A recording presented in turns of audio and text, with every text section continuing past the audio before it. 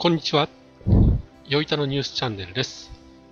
司法誌などに掲載されている良い記事や楽しい記事を皆さんと共有していきたいと思います。では、今回紹介する記事はこちら。神戸新聞ネクスト4月22日 ,2 日の記事です。シラスウナギ近年にない放流、加古川に4キロ放流とあります。まず記事を見ていきましょう。えー、不良が続いていた日本ウナギの稚魚、シラスウナギが近年にない捕虜に恵まれている。これを来年以降につなげようと、加古川漁業協同組合、かっこ兵庫県西脇市野村町は21日、加古川市の加古川河口で採取したシラスウナギ約4キロを、加古川、えー、川上中、川上中流に放流した。同組合にいる稚魚の放流は初めて。で日本ウナギは絶滅危惧種に指定されている生態には不明な点が多いが、日本から約2000キロ離れたマリアナ諸島付近の海域で産卵。孵化した地球が日本など東アジアの各地の河口にやってきて、淡水期で5年から10年ほど暮らすという。えー、同組合は5月下旬から6月あ、毎年5月下旬から6月上旬にかけ、約1500匹の制御を放流してきた。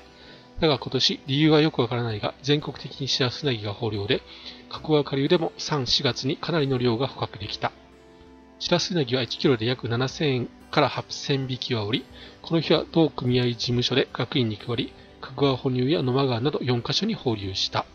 かつては北播磨のあらゆる河川に生息していたという日本ウナギ。同組合の渡辺昭義組合長は、暗い話が多い時期だが、えー、将来のうなぎの成長を楽しみにしてもらいたいと話していたとあります。はい。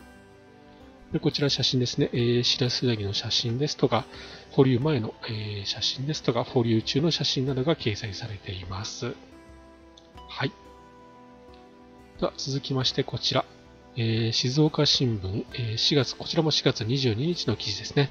えー、うなぎ稚魚漁を終了。全国放流で、えー、漁期と中打ち切りとあります。はい。では記事を読んでいきます。えー、養殖にうなぎ、日本うなぎ、日本うなぎの稚魚、シラスウナギが、えー、豊漁で、漁期を1ヶ月残して3月末で国内の漁が全て終了したことが21日、水産庁への取材で分かった。道庁によると、国内全域が漁期途中で打ち切になるのは初めて、静岡県は3月24日で終了した。えー、豊漁に理由は分かっていないが、2020年漁期、えー、過去19年12月から2020年4月の国内再捕量は約17トンで、過去最低だった前年3.7トンの約4.6倍に増えた。本件は前年の3.4倍に当たる1.6トンだった。日本ウナギは絶滅が危惧され、稚魚を再捕者から仕入れて育てる国内養殖業者の受け入れ量は上限21.7トンに定められている。20年料金の受け入れ量は3月末で19.9トンと上限が設けられた15年料金以降で最多となった。県内養殖業者の受け入れ量は全国で4番目に多い2.1トンだった。国内の養殖池がほぼいっぱいになったため、水産庁は漁を行っている24都府県に対し、3月31日付で終了を要請した。上限違反や海外への密輸を防ぐのが目的。養殖業者との契約が残っている採用者は漁の継続が可能だが、実質的に今期漁は終了した終了した。で池漁は国内で、え取れた稚魚と中国など東アジアから輸入した稚魚の総量、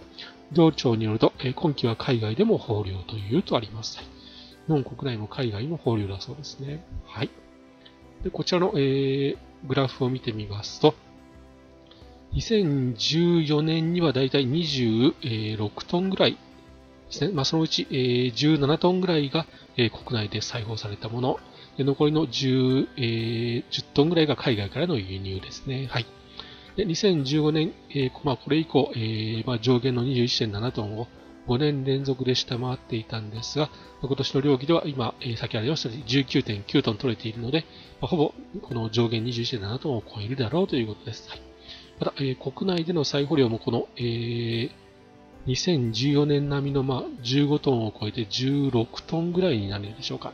それで、まあえーまあ、輸入分が仮にまあ5トンぐらいあったとしたら、僕の21.7トンを超えるだろうということだそうですね。はい。